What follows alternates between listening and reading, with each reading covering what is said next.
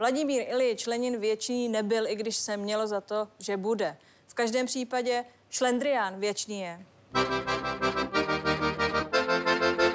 A máme na to důkaz. Ani tenhle v příbrami nevydržel. Vidím, jak Gotwald normálně padá. Teď je v Budějovicích. Pojďme ale všem soudruhům ukázat. Řekněme záda. A teď ten šlendrián je na celní poště, Jako jak to má člověk stihnout, jo. No prostě nesmysl. v prázdných kancelářích, Kdyby radši postavili něco jiného. dokonce i v pohřebnictví. Povinnost ten hrob zasypat neexistuje. Snad jen jeden Čech odolává času i šlendriánu. Jaromír Jágr.